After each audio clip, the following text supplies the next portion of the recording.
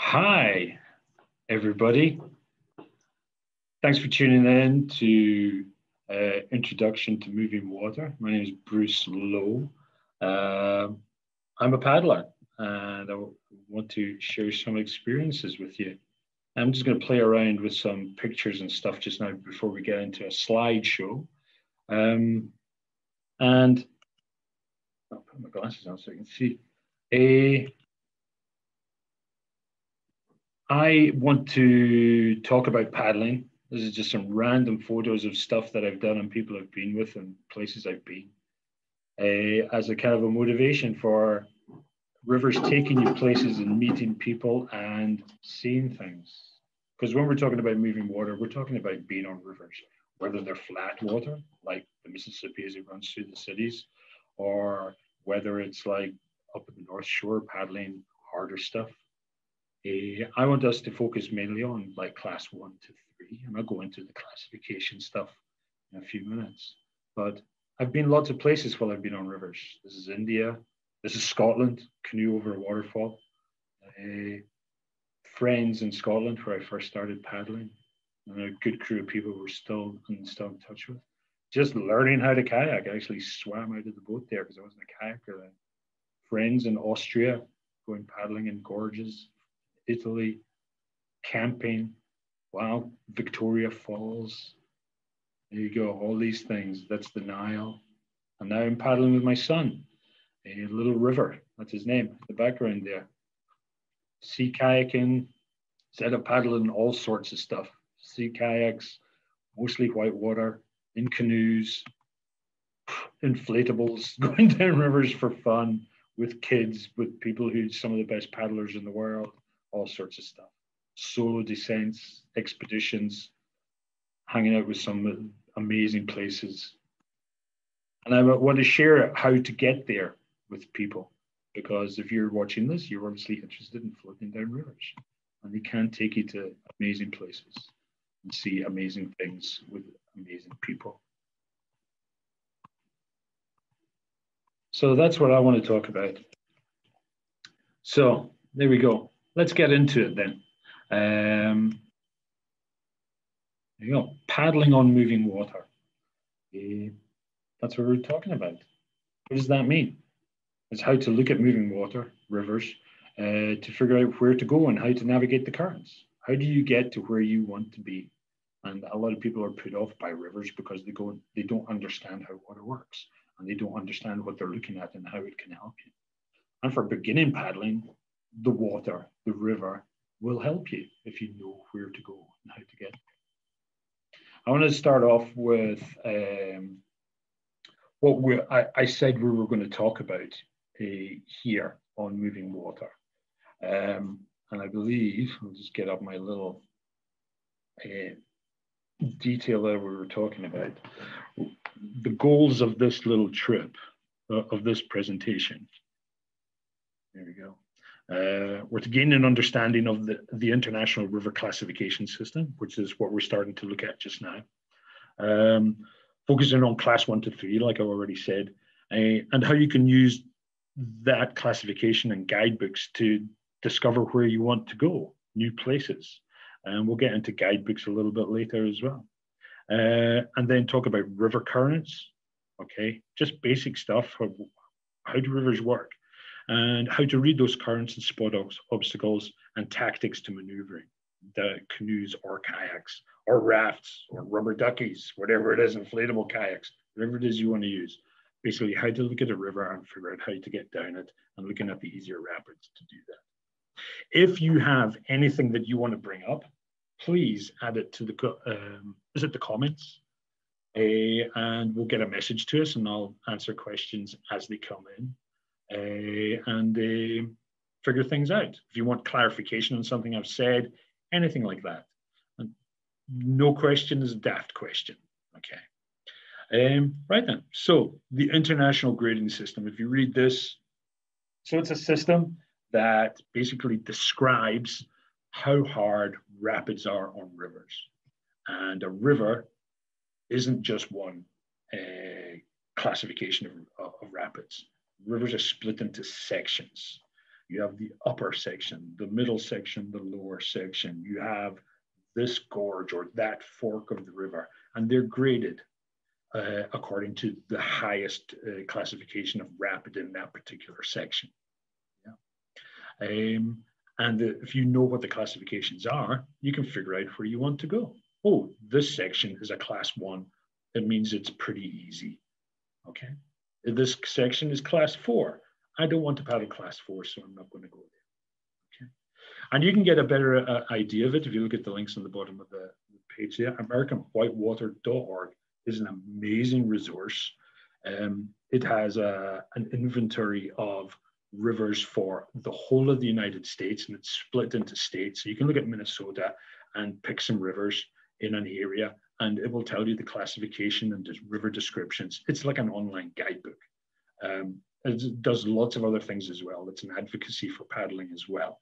Okay, and it says whitewater, but it's for anybody who wants to paddle down rapids, no matter what type of craft you're in. And then you've got paddling.com, which is an online kind of like magazine and there's lots of uh, people who input and write articles and give advice on that. And some of them are, are, the best in the world at it as well. And but that goes into the river classifications. It's basically a really good resource for almost everything to do with, with uh, paddling. All right, next. So the river grading system. Let's get into it. Okay, it's international. Uh, basically, a class one river here is the same as a class one river in Europe, in Asia, in South America. There are some little idiosyncrasies, like if you're paddling harder water, like class four and above in, say, Idaho, you might find it a little bit harder than paddling class four in uh, Minnesota. That's because the rivers are harder there because they're much more continuous and longer. Okay, but basically it's the same system all over. And it goes one to six. There we go. Nice little picture um, that I got from paddling.com, a class one, two, three, four, five, six, and a, what it might look like.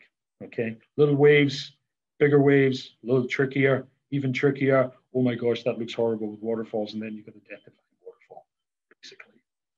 So let's look at class one to three. That's all we're doing. We're looking at beginner stuff. We're looking at easier stuff.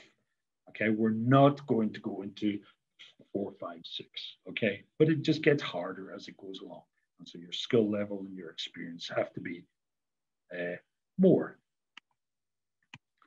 So class one, look at that. It is a fast moving current, small waves. Few obstructions, easily avoided. It's low risk and easy self-rescue. If you do capsize, it's easy, just fall out, swim to the side, drag your gear with you. Okay.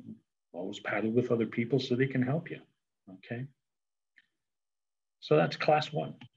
Class two, straightforward rapids. So you're looking at something that's like, oh, yeah, that looks like a rapid, but it's wide open channels that are evident without even scouting. Scouting means you get out at the side, stand on the riverbank and look at it and point your way down. So you don't even have to scout. You can if you want to. There are occasional maneuvering required, like you go around a rock. You don't just paddle straight down the middle. Okay, you might have to go from the middle to the left, but you're not going to be making a slalom, zigzagging your way around. It's pretty easy, maybe once or twice.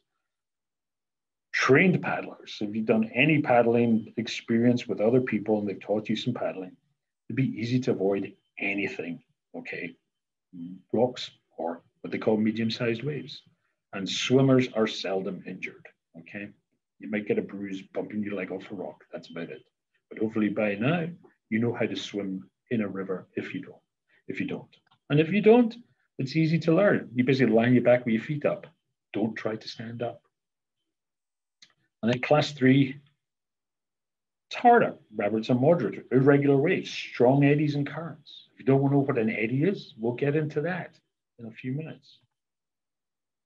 Complex maneuvers and good boat control are required. So you're at a higher skill level. Major hazards are easily avoided. So you see the word, it's easy again, okay? We're not getting into super hard stuff. but you're going to have to make some complex maneuvers like ferry gliding or paddling upstream to avoid stuff or back paddling to avoid stuff. Maybe having to make eddy turns and things like that. Okay, a little bit more technical stuff. Scouting is recommended for inexperienced paddlers.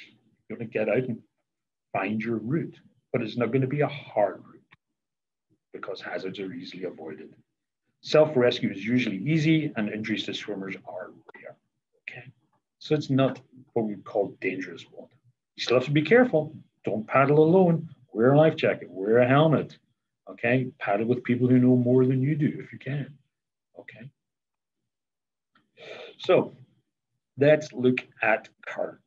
Okay, so the river description was saying talking about currents, easy currents, harder currents. Okay, we're going to go into the, like the utopian river. All right, what does the perfect straight line river uh, currents look like? Right, where does the water go?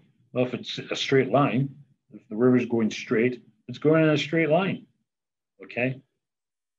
The arrows, the thickness of the arrows there just basically represent the fastest flow. There it is in the middle. And then it just gets less and less, less fast as you go down. Okay. And that's on the surface. Okay. That's what's usually happening. This is all laminar flow. Okay. So under the water, the water is doing stuff. This is the perfect underwater channel. Yeah, there's no obstructions under there. Okay, you got the slowest layer. There's more friction. That's what slows things down with the air or the side. And then the friction decreases as you get into the middle. Okay, and that's where the fastest current is. In fact, the fastest current is just under the water in the middle, if it's a straight line. Okay. So if you fell out of your boat or you drop something and it's just under the surface, it will move faster than something that's on top of the water. So if you're swimming in a river, you're probably going to travel faster than your boat, which is floating on the surface. Okay. If you do fall out or somebody's chasing you. Okay. So laminar flow is layers distinguished by speed and friction basically causes it to slow down. Okay. Hopefully we're all getting that. All right. And that's the perfect thing without any obstructions in the river. And here's a little a movie that I took. Hopefully you get to see this. If you look at what the water is doing in the middle and then at the sides of the river. Okay. And this is this is just a Minnehaha Creek. I was just telling somebody, Minnehaha, great place to look at this. There you go. See how the water's spinning around on the surface because it's slowing down. See how the water's moving faster in the middle than it is at the sides? And that's the friction, friction of the rocks.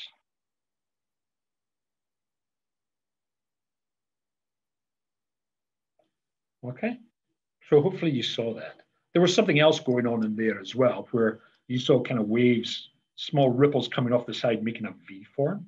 And we'll talk about that. That's a it's a feature made by obstacles in the river that can actually help you figure out where you need to go. Follow the V's. But we'll talk about that a little bit later as well. Okay.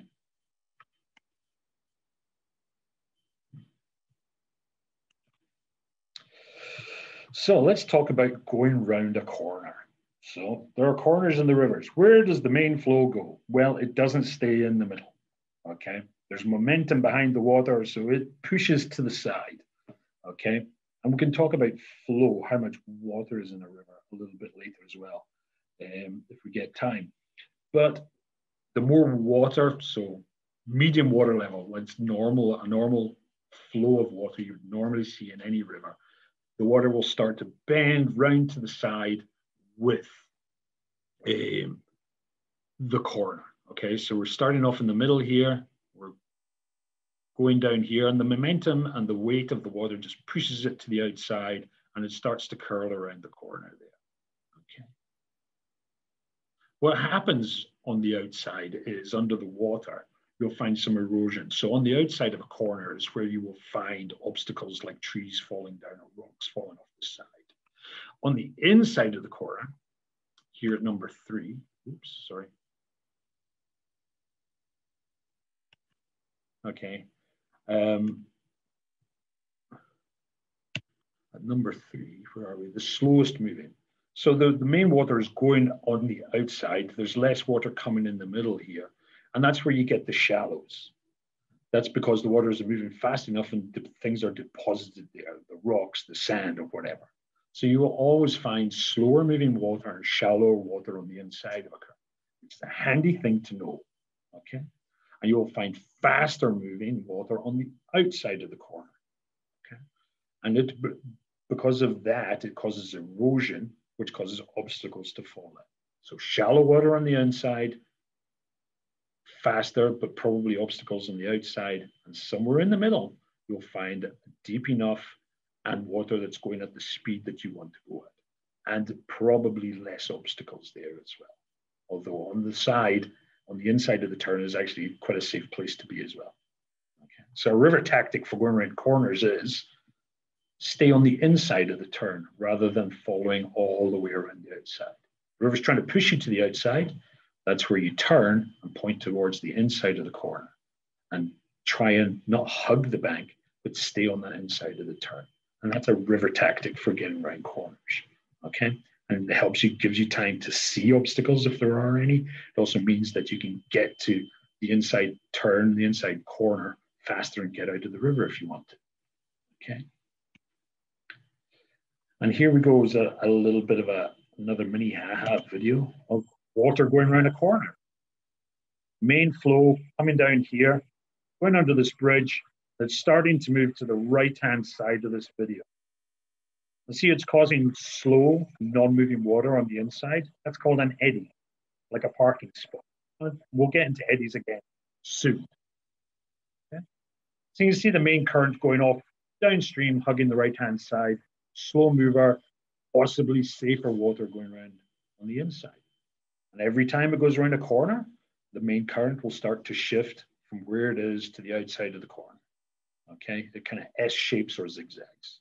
And that's in a, a nice, easy, normal flow. Other simple flows, shallow water, deeper channels, B's, okay? So shallow water, we've all seen rivers, okay? And sometimes you just come up against shallows, okay? They're an easy way to spot shallows. Okay, if you watch this, you will just see ripples everywhere. Okay, now the smaller the wave, okay, means the shallower the water. And if you're seeing ripples everywhere without a channel, it just means that whole area is shallow. If you see smaller ripples and then some bigger ripples uh, somewhere else in the rapid, it means the bigger waves are deeper water. Okay. All right. So small waves is really shallow. Bigger waves is deeper water. But in a shallow bit, you might just look at all the waves and go, they're all really small. But if you try to discern the size of the waves, okay, you'll see some are a little bit bigger than others. And that can often point to the route that you want to take down an area that is all totally shallow. So, oh, I don't want to do that yet. Let's have a look at this video. Again, mini ha. See little ripples everywhere. But there's obviously some deeper water here, just to the top of the middle. And it comes down, and the river's spreading out. So it's all becoming more shallow. If you can see a main current, you just pause it. There's a main current going down here to the right of the island, and there's less water going down here to the left. So less water will usually mean it's probably shallower because there's less water covering the rocks. And more water going down to the right means there's probably a deeper channel. So again, more tactics, but it's also the size of the waves that will tell you what's going on. Okay. We also have a corner going on around here, going around the island on both sides. Okay, but the channel is wider on the right, so it gives you more space to maneuver.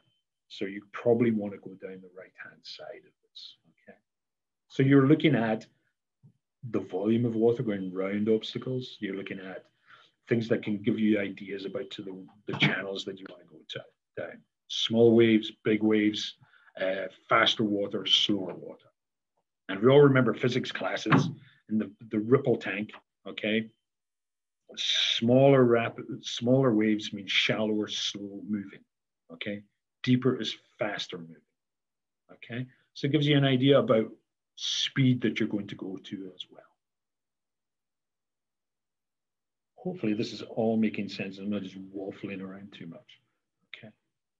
Good thing about things like Minnehaha Creek or some of the other small rivers around here is everything you see is a miniature version of a bigger rapids, bigger rivers. Okay.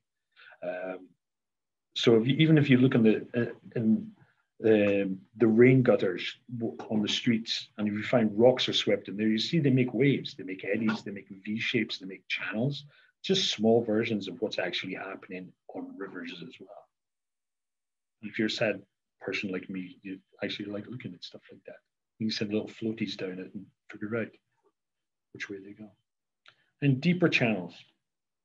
Okay, here we are. We're actually looking down from Minnehaha here, down um, at the bottom of the steps at the restaurant at Minnehaha Falls.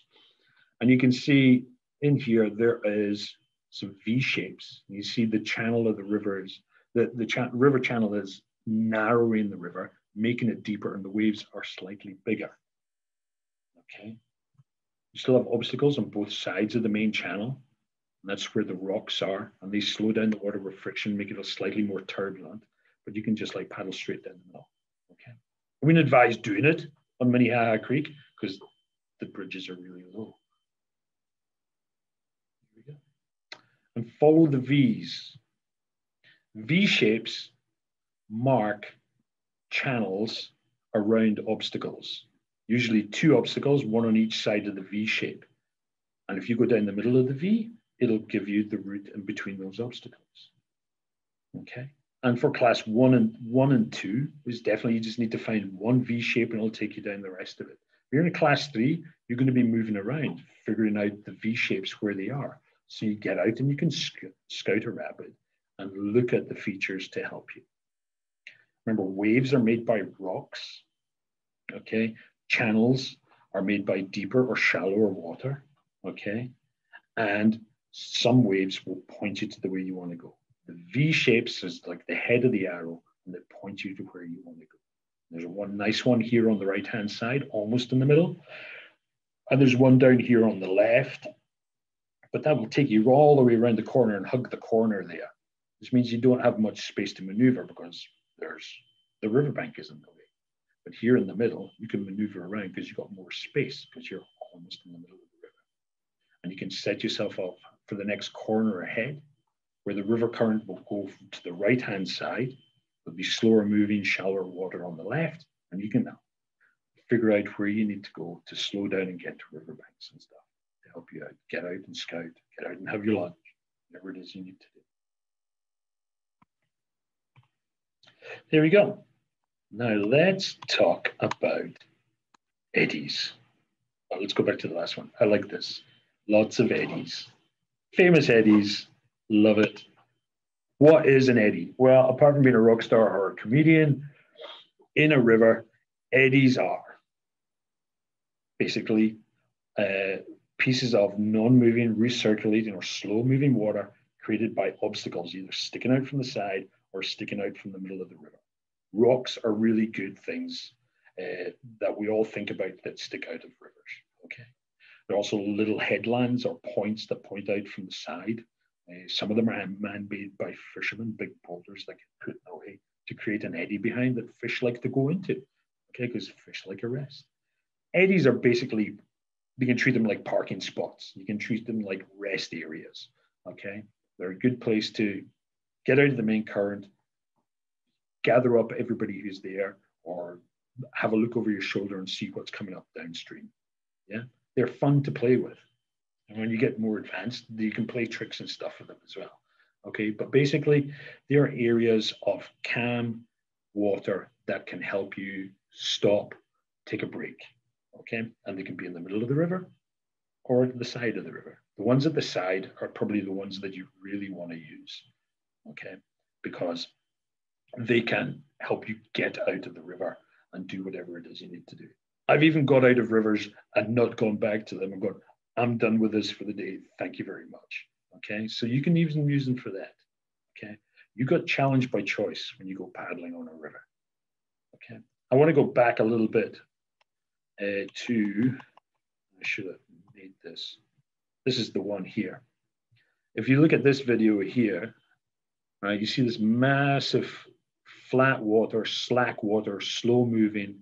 And when I say recirculating, it can even be the water current can even be going upstream, opposite to the way the mainstream of the river is going. Okay. So you could pop into this eddy and get to the side. Okay. And figure out what it is you want to do. We're just stopping and having a rest. We're stopping and talking, figuring out what we're going to do next. Where's the river go? You can get out and walk downstream and see what's coming. You can do anything. You can go for a coffee Caribou Coffee, whatever it is you got. Okay. But eddies are very useful things. This is a really good little video just to show you. It's very fluid. You see how there's not much recirculation going on with this video, this water. It's just not going anywhere. So you get in that eddy with your boat and stop. How does that sound? It's amazing. This is really weird not having anybody able to talk back to you. By the way. All right, bye bye, eddies. Here's a little breakdown of kind of how they're formed. So this is at the side of a river. Okay. Number one is the obstacle. At the moment, it's like a blue circle, which is pretending to be a rock. Number two is the river flow. Okay, it's going in a straight line. You got the main flow right in the middle, and then you got less fast water progressively out to the sides. So arrow number three, the obstacle is diverting water. So the water is not just going straight through the rock. It's been diverted, it's been reflected back towards the middle. Now, when it gets there, we start to get into a little bit of physics, okay? So there's a, now a vacuum created by that water, which needs to be filled up. So it sucks, sure, water back into it. So now number four is the, the motion of water being sucked back into that vacuum, which is now not a vacuum because it's all totally filled up with water. Okay, and that's all we see. And it starts to recirculate hard. And then the next arrow there from number four, it's still recirculating. It's getting back into that hole created by uh, the water being reflected. Okay, it's filling up the hole there. And then number five, okay, it's start of the backwash. The water is going to now going to start to not go upstream or stop being non-moving, and is now going to start to slowly dissipate back downstream.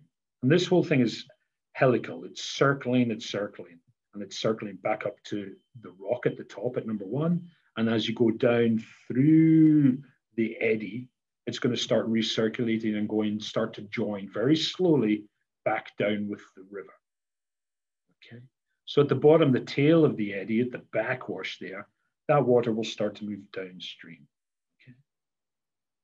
So after it gets out of the eddy, the currents just start to merge again. And unless there's anything in the way, um, it's just going to merge into our main straight line river again with all the currents, main in the middle, fastest in the middle, and then dissipating outside again. Okay. Um, and that's what kind of what happens. The obstacles start to change that flow. Okay. And here to make an eddy, we've got a rock sticking out of the water. Okay. It could be a tree trunk, it could be a bridge pillar, Okay, it could be something, it just has to be something sticking out of the side uh, and the water is diverted around it and then the water backfills in a circular motion around it. Okay. The closer to the obstacle creating the eddy you go, the stronger the current of the eddy. Okay. And as you go down through the middle and back out to the backwash at the bottom of the eddy, okay, they start to, the strength dissipates again okay, and then starts to build up again as it disappears at the end. So this area here between five and six, you might find the current is starting to strengthen going downstream. But basically, if you get into an eddy, get up somewhere in the middle of the eddy and get in there. It's usually the calmest area of the eddy. Get to the side, okay, and hold on and get out if you want to, okay. If not, you'll just float back up to the top of the eddy where the rock is, and you'll find yourself hugging the rock at the top. But it's usually a pretty safe place to be. Bruce, we do have a question in the chat. Somebody yeah. would like to know what part of the eddy do you see fish? What type of the part of the eddy do you see fishing? Well, I don't fish, so unless I'm upside down in the eddy, I don't see any fish at all. Um, so I'm not sure. Uh, as a non-fisherman, or as I grew up in Scotland by the ocean, I'm more of a sea fisherman, so I didn't have to deal with that there. Uh, so I don't know where the fish are. I would imagine they're probably in the least turbulent part of it, which is probably in the middle there because it's not moving. They're not going to have to waste any energy there. I have seen salmon swim upriver, and once they get over a fall, they'll head for an eddy and they'll just sit in the eddy and they'll rest. Hmm. So I imagine that they're just sitting in, in eddies in the Camas Park. But apart from that, I don't really know. Yeah. There you go. Right. I hope that answers your question. Thanks for asking. First question of the night. Yes. All right, here's another picture of an eddy. It's a bit of a weird angle because I didn't have a good camera at the time. But here we go. You can see the obstacle at the top of the eddy here. It's actually the tree and the rock. And you can see the difference between the main current, where the water is diverted off the, the rock.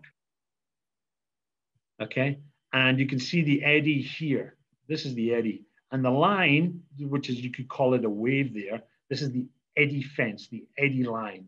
It is the place where it is not the main current of the river, but it is also not the eddy. And some people have called it funny water because the water is doing funny stuff. It's not been a main current and it's not been a current from the eddy. It is swirling around in circles. And that is where you find little mini whirlpools. Or if you're sea kayaking in the ocean uh, and tides, tides act like rivers and tides between islands definitely act like a, a river, um, you can get whirlpools. Um, for those sea kayakers out there, if there is anyone, there's a paddle called the Corrie Corryvreckan made by Werner. It's the name of a tidal race in Scotland. And it has one of the largest uh, tidal whirlpools in Europe. And it's basically made by funny water that is just disrupted between water being pushed around all over the place. So whirlpools can happen, okay? But in a river, you're not going to get anything that big. You can just get funny stuff here. And you basically paddle really hard from the main current into the eddy, and you just zoom across the funny water, and it doesn't even bother you, okay? But it does take energy and a bit of power to do that, okay? So if you're going into eddies, you're paddling, point towards the eddy where you want to go, okay? Paddle hard at it, get into the eddy, and avoid the funny water. The funny water will spin you around really quickly and probably may even push you back out into the mainstream where you don't want to go. Okay. All right, and so try to paddle nice and strong in towards eddies. Okay. But also be aware that you will turn because you're going from one current, which is going downriver, into another current, which is either not moving or going back upriver.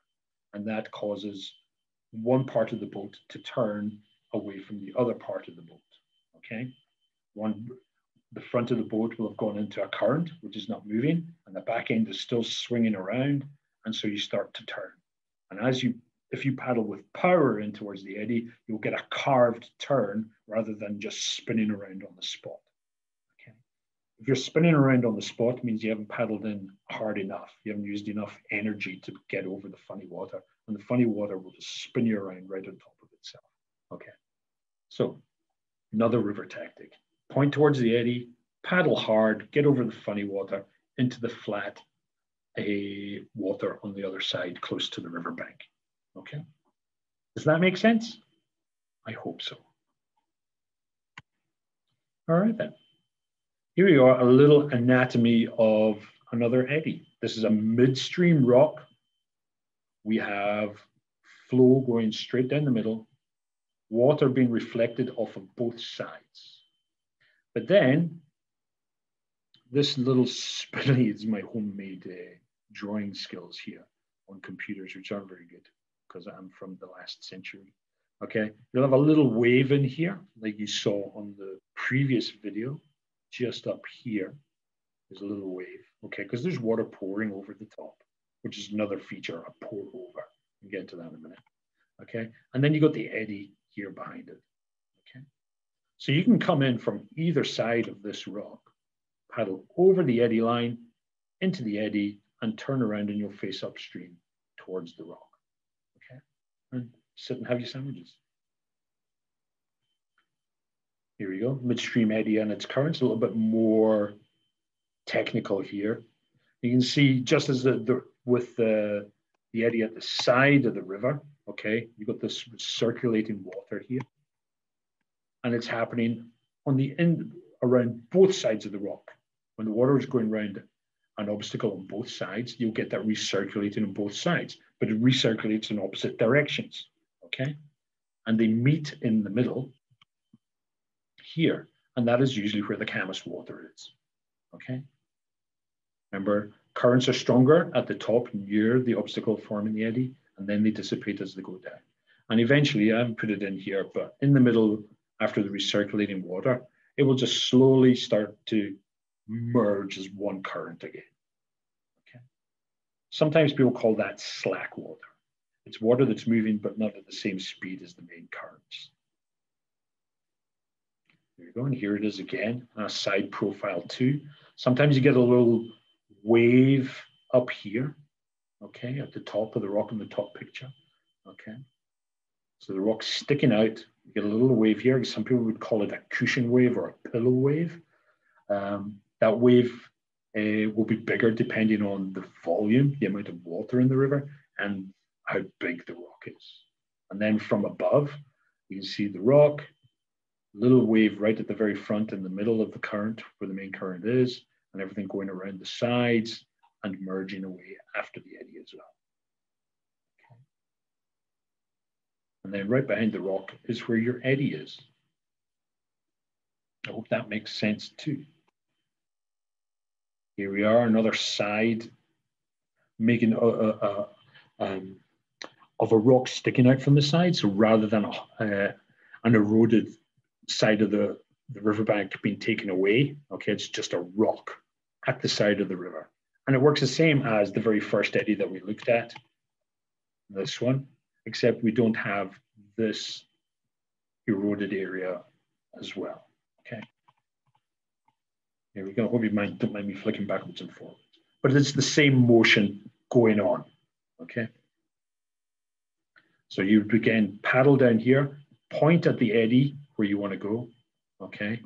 Point through the eddy at the riverbank where you want to go and paddle hard towards it. You'll spin around and keep paddling. You get to the side of the river, okay? You keep paddling when you're in the eddy because you don't want to get just like your momentum just to push you downstream to the bottom of the eddy, and then all of a sudden you're in the back horse going back downstream again. I've got a very interesting story about that, but uh, it's scary because it was above a waterfall. I was okay, my boat wasn't. And that's what I was learning. Okay, now here we are at V shapes. Okay, so we've shown how eddies behind rocks, eddies at the side of the river. So imagine you got an obstacle on one side of the river, an obstacle on the other side of the river. The main flow comes down and water is deflected off of both of those obstacles. Okay, but from opposite sides, and that causes that V shape. And in class one, two, and three water, you'll find it's usually a pretty smooth piece of water. And the, the deflected water meets at a point, and then they join together and they form another main flow away from the obstacles. And that's your V shape, and that is a nice, safe route to take. Away from the obstacles, it's in between the obstacles, it's away from the eddies, so you won't get spun around on the funny water. You just keep pointing downstream and off you go. These are very, I'm gonna, I'm gonna just, yeah, emphasize it. These are your way forward. They point to where you want to go. They're the gaps between obstacles to show you where you want to go. Okay. All right, here we are. Let's, has anybody got any questions around that? Anything there? I hope this is making sense. Follow the V's. Eddies are parking spaces. Uh, the currents go to the outside of corners. It's usually safer on the inside of the slower water on corners. Okay. So let's talk about some waves made by rocks. Rocks are the thing that make most waves. Okay. Uh, they're the most frequent obstacle in rivers. Okay. People will talk about trees, but basically, if you see a tree in a river, avoid it. Don't go anywhere near it. So sometimes they're just not worth talking about. Okay. So rocks are the main thing. Avoid trees, try not to hit rocks, follow the V's, use eddies to help you. But different types of waves made by rocks. So you have rocks in the river, they're either sticking out or they're underwater. Okay. Uh, if they're sticking out, they're going to make an eddy. If there's water going over it, okay, it's going to make different types of waves. The waves depend on how much water is going over that rock okay, or how much it isn't sticking out of the water. Here, we have a rock that is just underneath the water, okay? If this rock is 20 feet high, on the far downstream side of the water, okay, you're gonna have a 20 foot waterfall, okay? If this rock is, I don't know, six inches tall, you're just gonna have a very small waterfall in minuscule, okay? This is called a pour over. Well, waterfalls are slightly different. A waterfall is a waterfall. A pour over is basically a rock with water just pouring over the top of it. And you get a steep drop with a very white wave in there. And the white waves that you see on water, okay, are recirculating water. The water's going around in circles. It's white because it's aerated. There's lots of bubbles in there, okay, because as it drops, it catches the water, the air, and uh, a, from the environment. There we go. So you get this, okay, and then it floats off downstream. And here you can see from above, you get the main flow, and you'll get that pillow or cushion wave on the upstream side. The water will pour over it, and there's the recirculating behind it. Okay. If it's a small rock and you've got a boat, so a six inch, a rock that's only six inches high, and you have a 17 foot boat going over the top of it, it's not going to have much effect. Okay. If it's a, a rock that's three or four feet high, okay, and you put a boat over it, you're going to get a, a bit of a bounce as you drop over the edge, okay? You might even get stuck in it, okay, because we are talking about not much water going over the top of that rock. All right, here we have more wavy stuff. Same rock, more volume in the river, okay, bigger flow, okay, and we're getting the water going over the top of it, but under the as it hits the rock, it's pushed up to make the hump of the wave, and it carries on downstream, and it goes down into the hole created afterwards and starts to form another wave. And then the waves will get smaller and smaller as they go downstream. And that would be called a standing wave. Yeah. The wave is, and you'll see it there, it's constantly there at that water flow for as long as that much water is going over that rock, that wave will, will be there. Yeah. And it's quite predictable. If you went back the next day with the same amount of water going over that rock, you'd still find that wave there. Now we've got a hole. So this is an in-between stage between the first picture and the last picture. Okay. And now we're getting into uh, waves that can cause problems for people. Okay. So the, the, the pour over, unless they're big rocks, uh, if they're small rocks for pour overs, you can kind of like bounce around off of them. If it's bigger rocks, you want to avoid pour overs. Okay. Uh, class one, two, and three, you're not really going to get those bigger pour overs. But this type of wave here is called a hole, a hydraulic. In Britain, we call them stoppers because they're big enough and you hit them with a boat, everything just stops. Okay. There's a lot of power in those if they're big. Class one, two, and three, you're not going to really mess around with them. It's the sort of thing you will you'll either avoid on class three, you're not going to see them on class one and two, apart from in a really small scale. And then the the thing about them is because it's recirculating water, so it's take an eddy and flip it on its axis so it's vertical instead of horizontally flat. Okay. If you hit it, that moving water is going to spin your boat. Okay. Handy if you want to turn around, you can use it uh, not very handy if you just want to paddle straight there. So white water, if you see a wave with white water behind it, for people at the beginning level, you probably want to avoid these. And you can see them because the water's white. Okay, which is really good in this part of the world. Anyway, in the Midwest, the water is made a waves that uh, aren't disturbed with catching air is dark. Waves that catch air and recircling that white frothiness, okay, they're easy to see. You got black and white water, okay, so you can see that stuff. If you go out west and you're in rivers that are more glacial, or you go up into Canada and Alaska on the west coast, glacial rivers, everything's the same color, so a little bit harder to see. Uh, but we probably don't need to talk about that. Here in the Midwest and out to the east, you don't have to worry about that.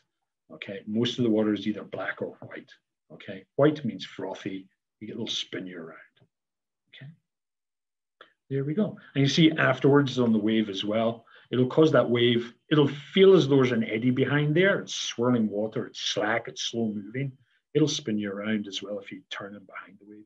But then eventually it will form into the main flow again if there's no other obstacles behind it to disturb it. So there we go. That is that. But now we're going to talk about guidebooks. Okay, so we've looked at brief description of classification of rivers. It's international. We're going to class about class one, two, and three, which is the easier stuff. Okay, uh, and now we know a little bit more about how rivers work. Okay, main flow, fastest water is in the middle, just under the water. When it goes around a corner, the mainstream is pushed to the outside, slower water on the inside.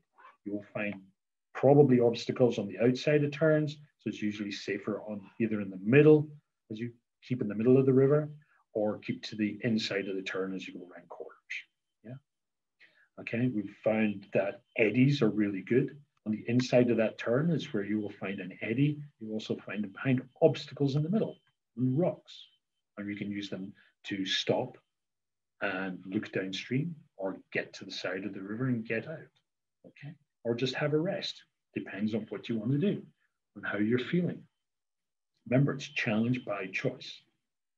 So, how does this pertain to guidebooks? Well, guidebooks use this classic uh, international system. Okay, guidebooks all over the world, but some guidebooks look. Oh, sorry, I forgot about this bit. Before we get into the Bibles, let's go over this stuff again. And so, class one, fast moving, few obstructions, low risk. Okay. Class two, straightforward, wide open channels. Okay. Occasional maneuvering. So, class one, you don't really need to maneuver. Class two, the route is pretty easy and you don't really need to maneuver very much. Trained paddlers will easily avoid, yeah? So even as a non-trained paddler, you should be okay. Class three,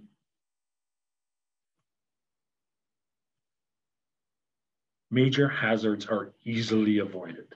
So class three has hazards, but easily avoided, okay? We're going class four, five, and six, totally different. Okay, they're not so easily to avoid, but up to class three, they are. So if you want to push yourself, don't worry about it so much. Scouting is recommended for inexperienced paddlers. So remember, scouting is get to the side, get out and have a look.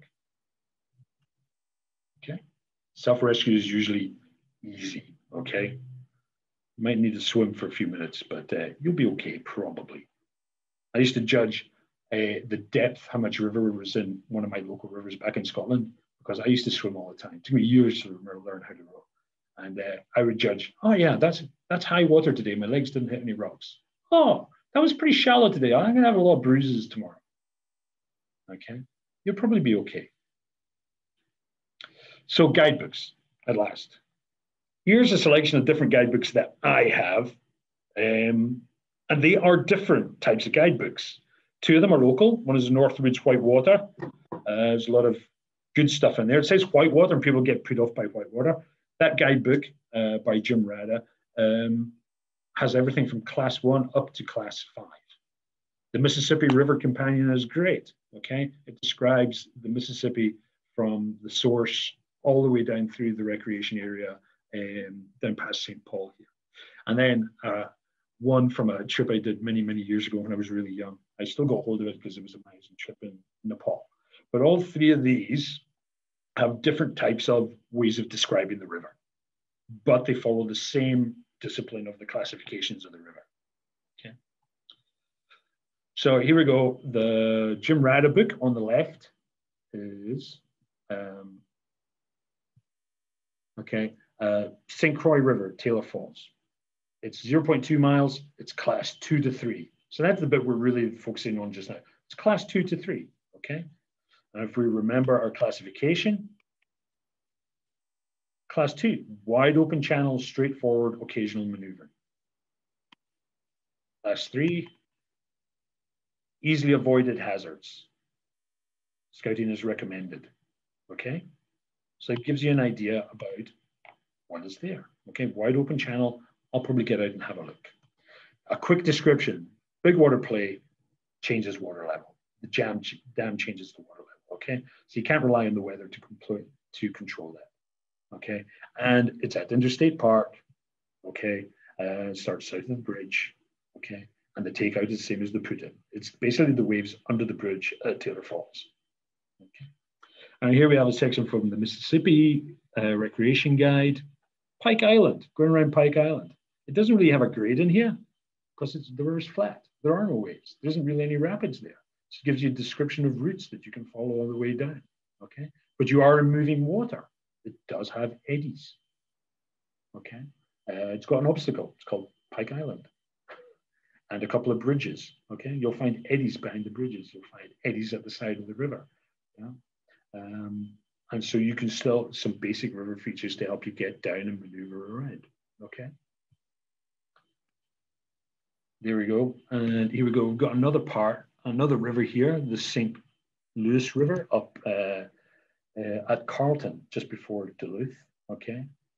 And it's the upper section. It's three miles, class two to three again.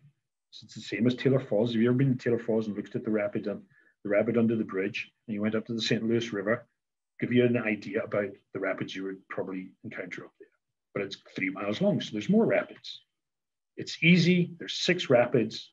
It's play and squirt. Squirt is just a trick you can play with certain types of boats. You start at Carlton, you take it at Scanlon. There you go. You can start at the Thompson Dam, take a Minnesota 210. Boom, there you go. Now, these books and their descriptions, there's much more information in there than just that stuff. Okay. And here we have for exactly the same system followed just in a slightly different way in Nepal.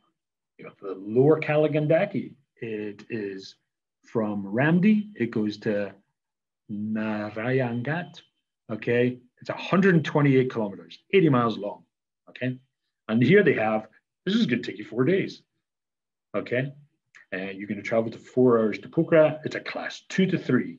Boom, there you go. That's the information you're looking for. Can I paddle that? Yes, if I want to do a four day trip. Yeah. Okay and it has a summary about, about what it's going to be like, uh, recommended as an easily accessible and relaxing river trip. Boom. All right. And it's even got a graph there that tells you when you can paddle. June, July, August, September, October, maybe November. December, a bit dry. January, February, March, April, May, a bit dry. Okay. All right. There we go.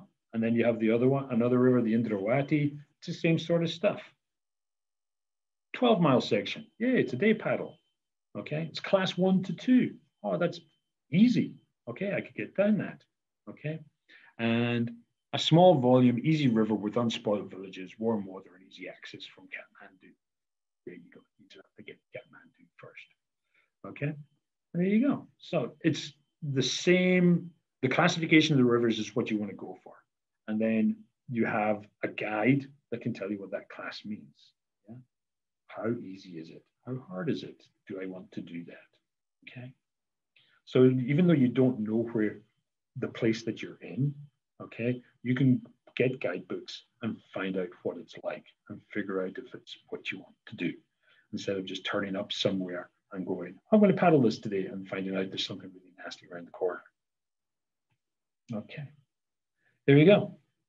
I wanted to show you a little video just to finish off because we've done nearly an hour here um, from a guy who's kind of one of the best people to, to of books to do. And there's a guy called John Mason, and it's an old movie. Okay, it's from the 70s, uh, but it's definitely worthwhile watching. I've lost my cursor on the screen. Won't come back to me. Ah, here we go. All right then. Uh, the canoe surfing one is a, a, we might watch it time afterwards. But Intro to Rapids. This is the start of one of his uh, movies that he made in the seventies um, as an introduction to whitewater. And just watch this guy paddle. Okay, he's on his own. He's an experienced canoeist, and he's going down this beautiful rapid. And just watch how he's doing. He's reading the water, and he's not paddling like crazy. He's steering his boat. So steering is important. Okay, turn, being able to turn your boat and put it where you want to go. Okay. Excuse the. Uh, here we go. Get onto YouTube first.